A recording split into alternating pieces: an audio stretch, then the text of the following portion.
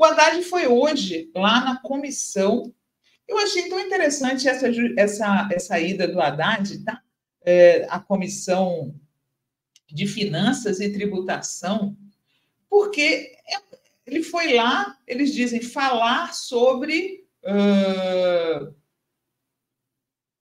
a política econômica do governo, né? Não fala assim exatamente o que, que o Haddad foi lá, foi convocado e foi lá uh, falar, né?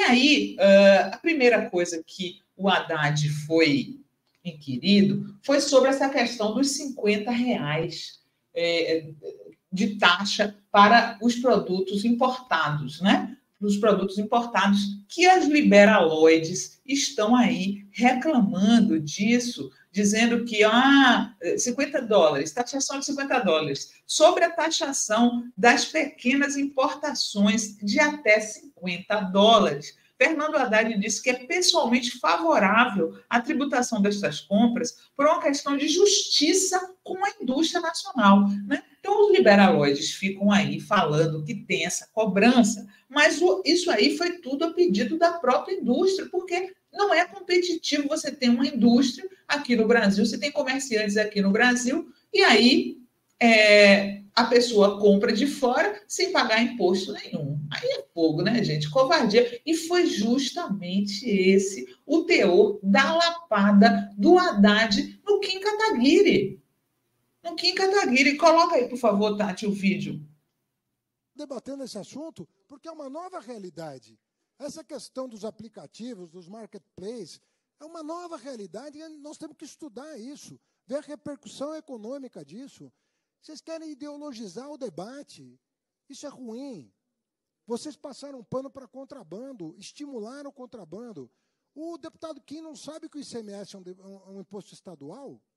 O senhor sabe que é um imposto estadual. Senhor devia estar criticando os governadores que estão cobrando, se o senhor é contra. Eu sou a favor do que eles fizeram e agradeci aqui. Os, os governadores, por estarem no âmbito do, terem no âmbito do CONFAS, tomado uma medida corajosa. Mas o ICMS que é cobrado dos marketplaces é estadual, não é federal. O senhor está querendo botar na conta do governo federal um imposto estadual. Na minha opinião, decisão correta que os governadores tomaram. O senhor vai criticar publicamente os governadores que o senhor apoia? Não, né? Não não fará isso. Pega o microfone e fala mal do Tarcísio. Vamos lá. Coragem, deputado. Sim, ministro. Primeiro. Fala. Presidente, fala, fala, fala aí. Deputado Kim, só para... Não, Fala veja. Não, Deputado Não vai ministro, falar. Você ministro, não vai falar. Não, ele... Presidente, Não, eu não vou, o te, eu não vou te causar fazer- esse constrangimento. Eu não, Não. vou te causar esse Não, constrangimento. não, não tem nenhum problema, ministro. Porque- Sou sabe por quê? absolutamente Sabe por quê, contrário à deputado? taxação por parte deputado do Kim. governador Você dar- Tarcísio ou de qualquer deputado, outro governador. deputado. O Deputado Kim. varejo, o varejo brasileiro é honrado. É feito de empresários honrados. A indústria brasileira é honrada. Não é assim como o senhor está colocando. As pessoas que mandaram esse, esse documento para nós são honrados. Merecem ser ouvidos pelo senhor. Receba-os no seu gabinete e ouça os argumentos. Ó, e aí, ainda teve uma parte que, que não está aí nesse vídeo, que o, o, o Haddad fala assim, ó. O Haddad fala assim, ó. Uh, as pessoas que mandaram esse documento para nós são honradas, merecem ser ouvidas. Feche a porta para ouvir e pare de lacrar na rede, né? Que o objetivo dessas pessoas é só lacrar nas redes, tá? E aí, para não dizer que eu não botei a resposta do Kim Kataguiri, eu vou botar, tá? O vídeo do Kim para vocês, mas eu vou fazer uh, uma legenda, uma, uma, espécie de legenda aí para as pessoas que tiverem eh, dificuldade de entender o que o Kim fala. Eh, coloca o vídeo do Kim aí, e, e, Tati.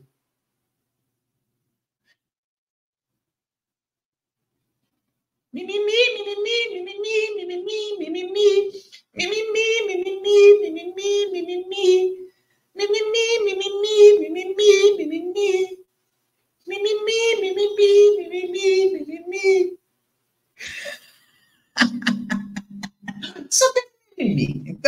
não importa o que ele estava falando. Ai, meu ministro, eu falo Tarcísio, sim. Como é que ele falou?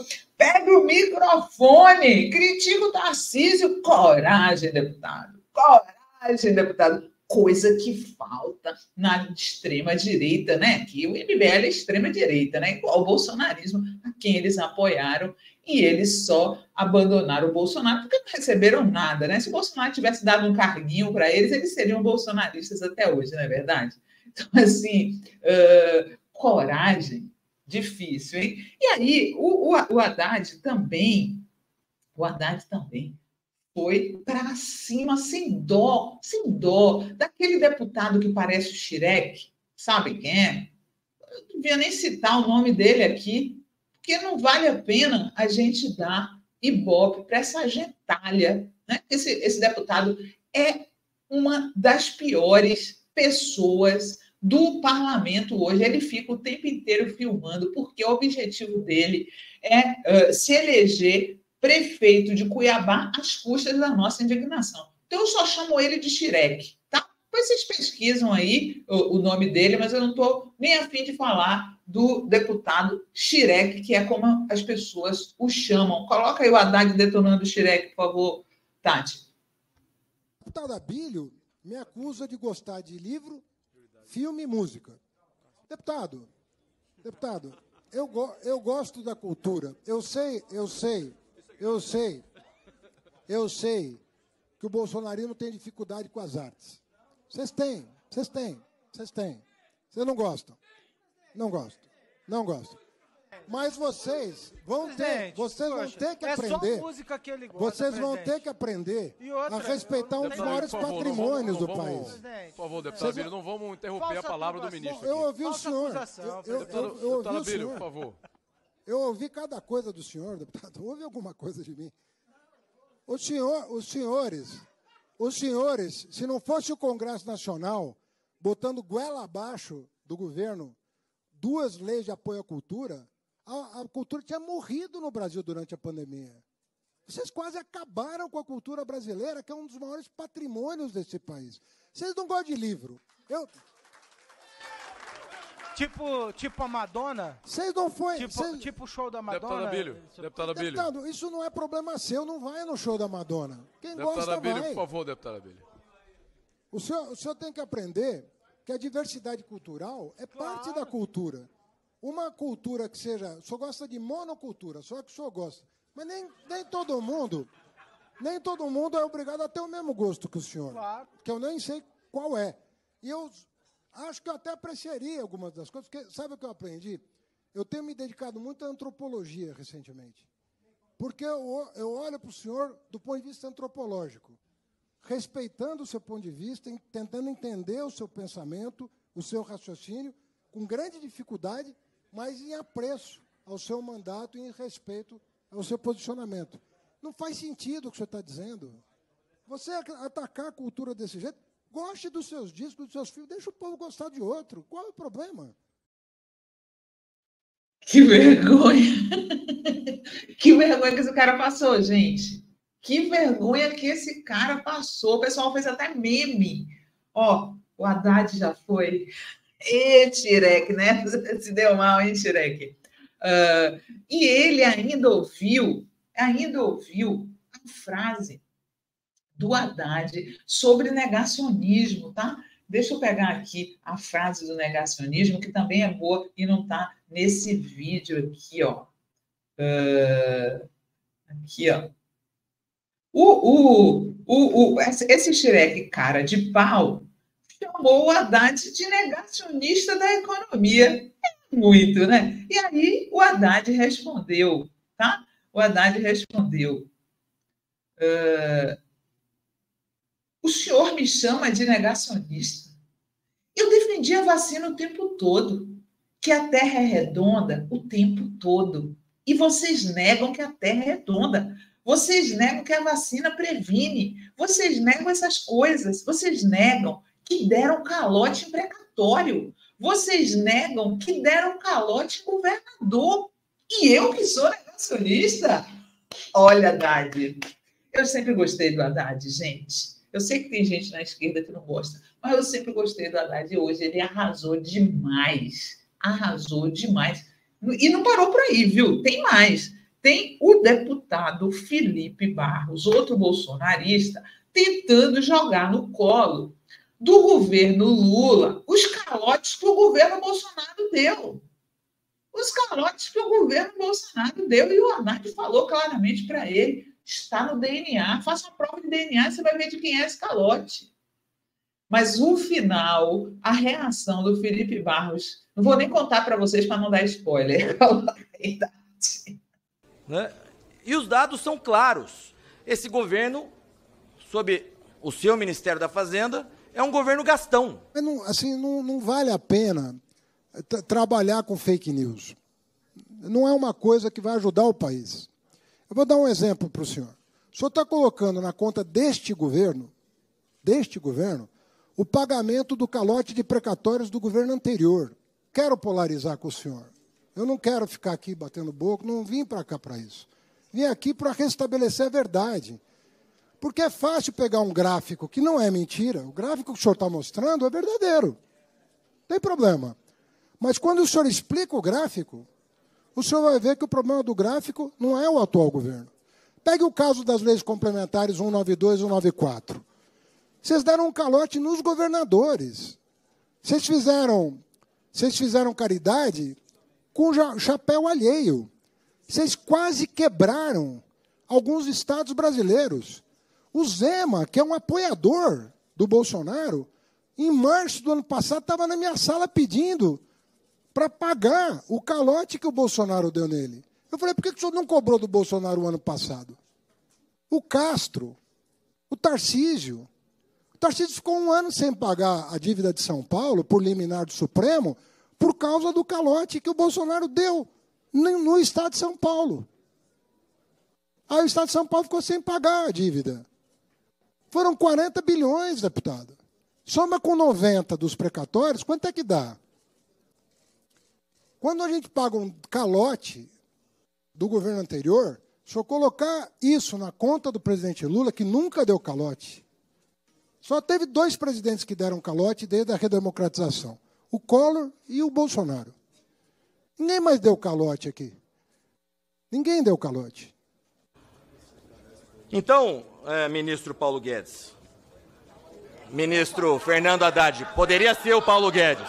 Ah, Se fosse agora o tá Paulo tá Guedes, nós estaríamos bem melhores. Saudade.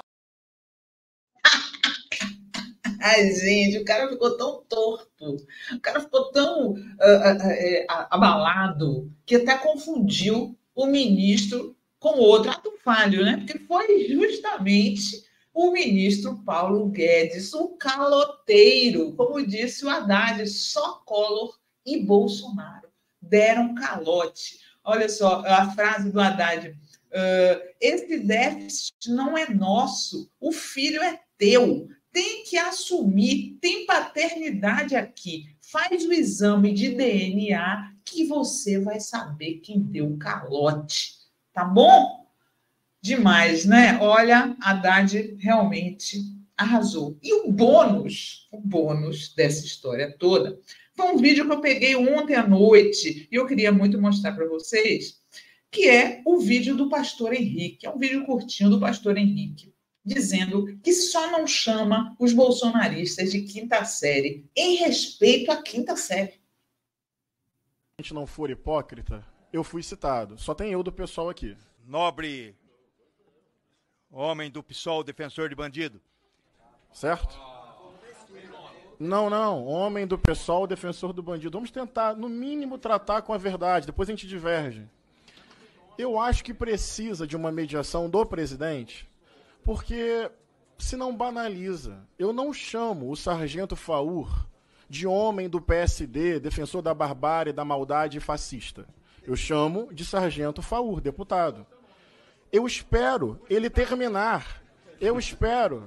Não, é, é sargento Faur, sim. Estou citando, estou respondendo à citação. Só não foi corajosa. Então usou de um subterfúgio para poder não admitir que se referia a mim. Eu tenho medo de bala, eu não tenho medo de debate de ideias. Aqui eu tenho coragem e serenidade e respeito. Quantas vezes em um ano e meio, quantas vezes em um ano e meio eu interrompi a fala do sargento Faur? A resposta é nenhuma. Toda vez que eu falo, é um grito. Eu não vou chamar de quinta série em respeito à quinta série, presidente. Porque isso é, isso é, é o fim do parlamento. Vamos brincar de outra coisa. Vamos, sei lá, jogar bolinha de papel um no outro. Eu queria, eu queria, pedir respeito. Vamos às ideias, usar uma coisa eu... chamada cérebro, para a gente poder debater. Debater ideias. Porque está... Conclua, Nós, deputado, presidente, conclua, presidente. Não, não, não. Eu estou, reagi... eu estou reagindo a uma violência psicológica permanente. É, realmente, né? É um nível, né? O nível deles é baixíssimo. E o nível dos nossos é altíssimo. Né? Olha o pastor Henrique. O nível dessa pessoa. O nível do Haddad. Nossa, esquerda é outro nível.